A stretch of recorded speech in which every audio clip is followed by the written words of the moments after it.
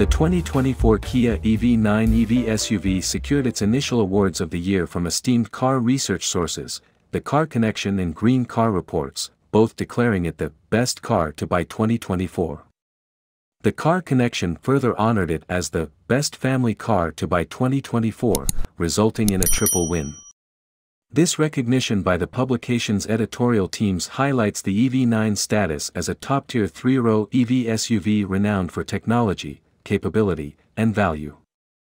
The Car Connection selected the EV9 after thorough evaluation against competitive industry models, utilizing their unique TCC rating system, focusing on safety, comfort, fuel economy, performance, technology, and styling.